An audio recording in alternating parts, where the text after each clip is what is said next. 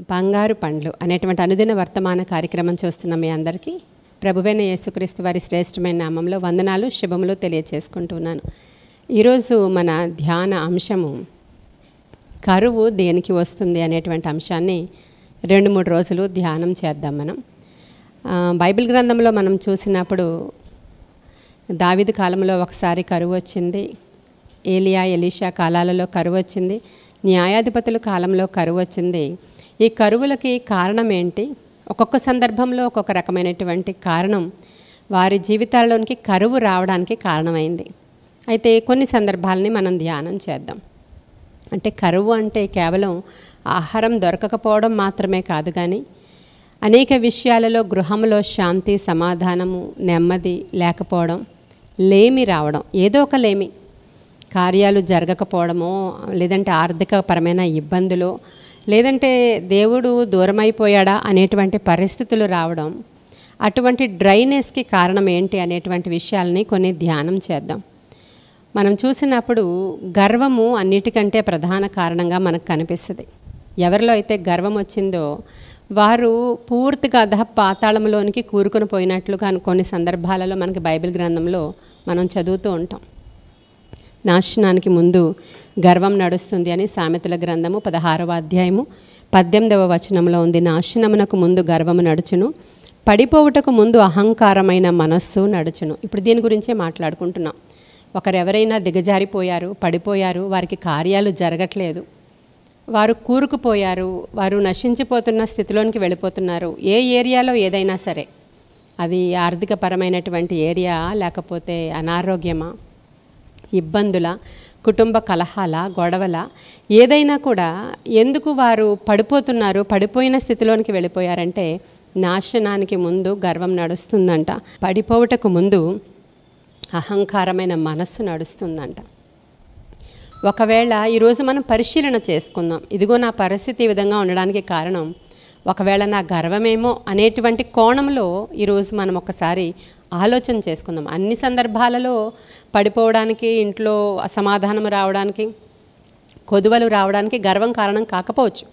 కానీ కొన్ని సందర్భాలలో ఈ కోణం నుంచి కూడా చూసుకొని ఈ యొక్క లేమికి నాశనానికి ఈ యొక్క కొదువుకి కరువుకి కారణం ఒకవేళ నా గర్వమేమో అని ఒక ఆ కోణంలో కూడా ఈరోజు పరిశీలన చేసుకుందాం. మనందరికీ తెలుసు దానియల్ గ్రంథంలో నాలుగవ అధ్యాయం నాలుగవ వచనంలో ఒక రాజు కనబడతాడు మనకు అక్కడ నెబుకెద్నెజరు ఆ రాజు పేరు. బబులోను మహాపట్టణాన్ని కట్టించినటువంటి వ్యక్తి ఆయనే.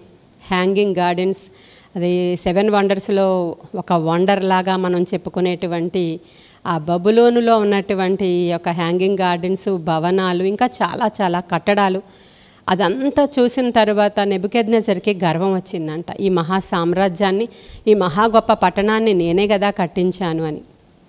ఆ రాత్రి అతనికి ఒక కళ వచ్చిందంట. ఆ కళలో అతను చాలా పెద్ద మహావృక్షాన్ని చూస్తున్నాడు. ఆ వృక్షం యొక్క కొమ్మలు ఆకాశాన్ని అంటుతున్నాయంట. విస్తరించి ఉందంట ఆ వృక్షము. దాని మీద అనేకమైన పక్షులు గూళ్ళు కట్టుకొని ఉన్నాయి. అది ఫలాలతోనే నింపబడి ఉంది. ఆ చెట్టు క్రింద అనేకమైన పశువులు సేదదీరుతూ ఉన్నాయంట. ఆ సందర్భంలో దోత వచ్చి అతనితో మాట్లాడుతూ ఉన్నాడు. ఈ దర్శనం వచ్చిన తర్వాత చాలా భయం వేసింది అతనికి. భయం వేసిన తర్వాత శకునగాండ్ర అందరినీ పిలిపించాడు. ఎవరూ అర్థం చెప్పలేదు. దానియలు వచ్చాడు. అర్థం చెప్తూ ఉన్నాడు. అతడు గర్వించిన దాన్ని బట్టి ఈ రాజ్యం నీ వద్ద నుంచి తొలగించబడుతుంది. నీవు పశువు లాంటి మనస్సు గలవాడవై అడవిల పాలైపోతావు. పశువులాగా గడ్డి తింటావు అనేటువంటి ప్రవచనాన్ని దానియలు ద్వారా వింటాడు రాజు. అది అతని మీద మంచు కురుస్తుంది అతను అడవిల పాలైపోతాడు అతను గడ్డి తింటాడు. ఈ మాటలన్నీ చెప్పిన తర్వాత చాలా భయం కలుగుతుంది ఆ రాజుకి. ఆ విధంగానే కొన్ని నెలల తర్వాత ఆ ప్రవచన నెరవేర్పు లేదంటే ఆ దర్శన భావము నెరవేర్పు జరగడం అనేది మనం చూస్తున్నాం. మహా గొప్ప రాజు అయినప్పటికీ కూడా ఎందుకు పశువులాగా గడ్డి కరిచాడు అతను? ఎందుకు అడవుల పాలైపోయాడు అతను? ఎందుకు అతని రాజ్య వైభోగాన్ని కోల్పోయాడు అతను? ఎందుకు ఆ పనిష్మెంట్ పీరియడ్? ఆ తర్వాత మరలా నార్మల్ అవుతాడండి. కొంత పీరియడ్ ఆఫ్ టైం అతను ఏమైందంటే ఆ గడ్డి కరిచేటువంటి పశువు యొక్క మనస్సు అతనికి వచ్చింది. అది దేవుని దగ్గర నుంచే వచ్చింది.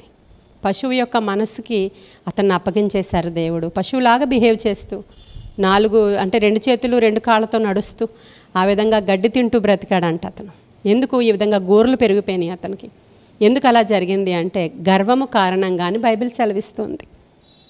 అనేక సందర్భాల్లో మన జీవితాల్లో కూడా మనకు కలిగిన దాన్ని బట్టి కొంతమంది అయితే వారికి కలిగినటువంటి బిడ్డలను బట్టి వారి యొక్క చదువుల్లో చాలా ఉన్నతమైన స్థితిలో వాళ్ళు ఎదుగుతున్నప్పుడు మంచి మంచి ఉద్యోగాల్లో సెటిల్ అయినప్పుడు మంచి మంచి వ్యాపారాలు చేస్తూ వాళ్ళు ఆశీర్వదింపబడి లాభం సంపాదించినప్పుడు వారు మంచి గృహాలు కట్టుకున్నప్పుడు వారు మంచి కార్లు కొనుక్కున్నప్పుడు వారి యొక్క అందాన్ని బట్టి ఎత్తును బట్టి రంగును బట్టి కులాన్ని బట్టి మతాన్ని బట్టి గర్వించినటువంటి అనేక మంది జీవితాలలో ఇటువంటి పతనం అనేది జరుగుతూ ఉంటుంది. కానీ మనం గమనించుకోలేకపోతాం. ఎప్పుడైతే అయ్యా నేను గర్విష్ఠిని అని వాళ్ళు గ్రహించి మనస్సు మార్చుకొని ప్రభు తట్టు తిరిగితే దేవుడు తప్పకుండా వారిని అంగీకరిస్తాడు. కాకపోతే ఒకటి వారికి అది రియలైజేషన్ రావాలి వాళ్ళకి. వాళ్ళకి జ్ఞా అంటే వాళ్ళకి తెలియాలి తెలివితేటలు రావాలి. అది బైబిల్ చదువుతూ ఉన్నప్పుడు నిశ్చయంగా వస్తుంది. కొన్ని సందర్భాలలో ఇలాంటి దైవజనులు మాట్లాడుతూ ఉండడం వల్ల ఒకవేళ నా యొక్క లేమికి కారణం ఇదేమో అని ఒక ఆలోచన వస్తుంది. ఓబద్య గ్రంథంలో మీరు చూస్తారు. అక్కడ ఒక పట్టణం ఉంటుంది. ఏదోము పట్టణము గురించి ఓబద్య గ్రంథంలో అది నాశనం ఏ విధంగా అయిపోతుందో అని చెప్పడానికి ఒకటవ అధ్యాయము ఓబద్య మూడవ వచనంలో అత్యున్నతమైన పర్వతముల మీద ఆసీనుడివై ఉండి కొండ సందులలో నివసించేవాడా? నిన్ను క్రిందకి పడద్రోయగలవాడెవడని అనుకునివాడా? నీ హృదయపు గర్వము చేత నీవు మోసపోతివి అనేటువంటి మాట ఉంటుందండి. గొప్ప కోటలు గోడలు మేడలు కట్టుకొని నేను అత్యున్నత పర్వతం మీద నివాసం ఉండేవాడిని. నన్నెవరు క్రిందకి పడదేయగలరు అనేటువంటి మాట నీవు మాట్లాడుకుంటున్నావు కదా. నీ హృదయ గర్వము చేత నీవు మోసపోతివి అని రాయబడి ఉంది. కాబట్టి ఈరోజు ఒకసారి మనం ఆలోచన చేసుకుందాం. హృదయ గర్వం అది బయటికి కనిపించదండి. అది లోపల ఉంటుంది. పర్టికులర్ టైమ్స్లో బయటకు వస్తూ ఉంటుంది. అది ఎలా కనిపిస్తుందంటే వారి మాట తీరు ద్వారా కొన్ని సందర్భాల్లో మనకి కనిపిస్తూ ఉంటుంది. కొన్ని సందర్భాలలో వారు ప్రవర్తించే ప్రవర్తన తీరు వల్ల బయటికి కనిపిస్తూ ఉంటుంది. కొన్ని సందర్భాలలో వాళ్ళు నేను నా అనేటువంటి అహం స్పష్టంగా వారి మాటల్లోనే వారికే తెలుస్తూ ఉంటుంది. బైబిల్ ఎప్పుడూ కూడా అర్థం లాంటిది. మన ముందర అది పెట్టుకుని స్వపరిశీలన మనం చేసుకుని ఒకవేళ ఈ కరువుకి కారణం నా గర్వమేమో ఈ కార్యాలు జరగకపోవడానికి కారణం నా గర్వమేమో ఇంకా నేను నేను నేను గర్విష్టి నుంచి దీన మనసు గలవాడిగా మార్చబడడానికి అవసరమైన కృప నాకు కావాలని దేవుడు అడిగినప్పుడు దేవుని నీవు అడిగినప్పుడు తప్పక ఆయన శక్తినిస్తాడు. ఆయన శక్తినిస్తాడు అని అంటే మనకి కొన్ని పరీక్షలు జరుగుతాయి. ఆ పరీక్షల్లో ఖచ్చితంగా మనము ఆ హంబల్నెస్ నేర్చుకున్నామా లేదా? అంటే మనం ఆ దీనత్వము ధరించుకున్నామా లేదా అనేది మనకి తెలుస్తుంది దేవునికి తెలుస్తుంది. అంతే తప్ప ఒక్కసారి ఇలా మంత్రం వేస్తే మనకి ఇలా గర్వం యొక్క చెట్టు పక్కకి పోయి మనం దీన మనస్సు ధరించుకునే చెట్టు లోపలికి ఏమీ వచ్చేది మనము దాని నిమిత్తమై పశ్చాత్తాపపడాలి. దాని నిమిత్తమై ప్రభువు దగ్గర గోజాడాలి. దాని నిమిత్తమై ప్రభువు సన్నిధిలో ఒప్పుకోలు చేసుకోవాలి.